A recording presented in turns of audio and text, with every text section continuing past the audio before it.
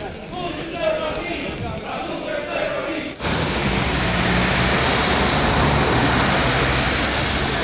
Bună ziua, ce v-a determinat să organizați acest marș? Suntem astăzi 15 organizații non-guvernamentale la acest marș împotriva colonizării României. Pentru asta ne pregătesc guvernanții noștri. În data de 10 decembrie, în Maroc, la Marrakesh, va fi semnat infamul Pact Global pentru Migrație. Ministrul de Externe, Teodor Meleșcanu, a primit mandat din partea guvernului și președintelui Claus Iohannis să semneze acest pact care efectiv va încălca articolul 3 din Constituția României, care spune că pe teritoriul statului român nu pot fi colonizate populații străine.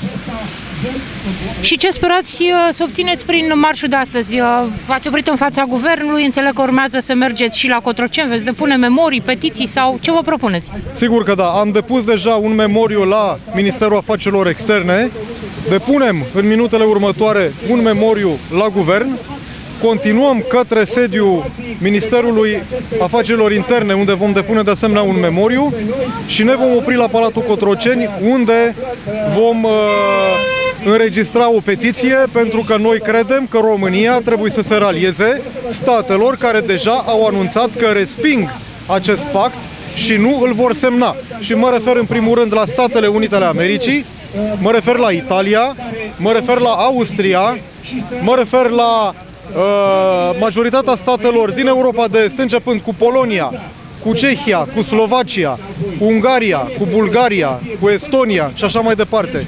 Toate statele vecine nouă din estul Europei au anunțat deja că nu își vor nenoroci națiunile, nu vor încălca suveranitatea propriilor state, nu vor încălca siguranța propriilor cetățeni și nu vor semna infamul, infamul pact pentru imigrație de la Marrakesh.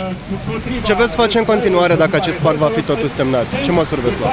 Vom continua demonstrațiile de stradă care vor fi tot mai dese și vor fi tot mai importante până când guvernanții vor înțelege că trebuie să respecte Constituția României, care la articolul 3 spune, negru pe alb, că în România nu pot fi colonizate populații străine. Ori ei, prin semnarea infamului pact pentru imigrație de la Marrakesh, exact asta fac. Vor ca în locul celor 5 milioane de români care au fost împinși să-și părăsească țara și practic un sfert din poporul român s-a mutat în afara granițelor, în Italia, în Spania, în Marea Britanie, în Germania, ei bine, în locul acestor 5 milioane de români, se pare, guvernanții noștri doresc să aducă 5 milioane de imigranți din Africa și Asia. Spuneți-mi numele dumneavoastră, vă rog. Avocatul Dorionescu, președintele Asociației Noua Dreaptă. Mulțumim! Bună ziua, v-aș ruga să ne spuneți ce v-a făcut să vă alăturați marșului de astăzi. Păi, tocmai acest pact care ni se pregătește la Marrakesh pe data de 10 ne-a făcut să ne dăm seama că oamenii ăștia ori sunt rău intenționați, ori sunt total nepregătiți. Și am venit să cu gândul că poate sunt decât nepregătiți, să informăm de nemernicia pe care urmează să o facă. În sensul că în loc să-și poarte de grijă poporului care a ales să guverneze țara asta, ei uh, încearcă să înlocuiască cele 5 milioane de români plecați pentru o pâine mai bună cu emigranți. Adică deja pai noștri lasă încolo să moară în gunoi, lasă că aducem uh, niște emigranți care să înlocuiască.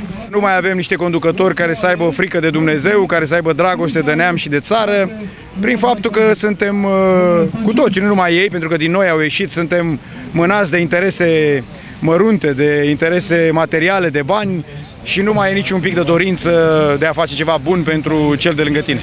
Dumneavoastră, pe dumneavoastră personal, cu ce vă deranjează venirea migranților în România? Păi uitându-mă la ce se întâmplă în exterior, uh, începem odată cu frații noștri români care au plecat, lăsându-și familiile aici, cu gândul să se întoarcă și ce o să găsească. Adică ei nu pot să se întoarcă pentru că n-au bani, 5 milioane de români n-au bani, și uh, tot banii ăștia care se vor da pentru migranți, pentru că poate nu știe multă lume, dar uh, se preconizează ca pentru fiecare migrant să se dea un card în care să fie vărsați aceleași sumă de bani în orice țară ar fi, deci chestia aia pe care o gândesc mulți, bă, știi, dacă în România o să fugă că e sărăcie. Nu, o să aibă aceeași bancă în Germania și o să fie foarte bine și românul meu muncește pe bani puțini și se chinuie în străinătate. Mă deranjează faptul că a, au făcut uh, un studiu în statele astea vestice și au văzut că din masele de migranți uh, decât 7% muncesc, adică de ce îi aduce aici dacă nu vor să muncească? Care e scopul pentru care îi aduce aici? Vrei numai anarhie? Pentru asta îi aduce să facă anarhie în țara asta? Mă deranjează faptul că Suedia, care a primit cei mai mulți migranți, are, este pe locul 2 la numărul de violuri în lume, după Lesotho. Deci vă dați seama cine le violează, că deja e clar că uh, toți sunt uh, arabi de origine musulmană, de credință musulmană. Uh, mă deranjează toate lucrurile astea. Faptul că în Franța uh, violează două tinere sub 18 ani și l achită pe acest migrant pentru faptul că acest migrant nu poate să înțeleagă credința noastră creștină care o are Europa și că trebuie să le libereze, că el nu se poate, nu e compatibil. Păi și atunci dacă nu sunt ei compatibili, de ce îi aduci în Europa, domnule? Una este Europa, alta este Africa și alta e... Deci trebuie să ne vedem, da, ai noștri, dăm pâinea, cine are o pâine și își lasă copiii să moară de foame și o dă pe stradă altora. Mai întâi îi dai la românul, la copilul tău și pe urmă îi dai și străinului, nu ce nimeni, nu suntem xenofobi. Dar nu poți să-ți lași copiii tăi să moară de foame și să dai pâinea altora. Cum vă numiți? Dan Grejdeanu.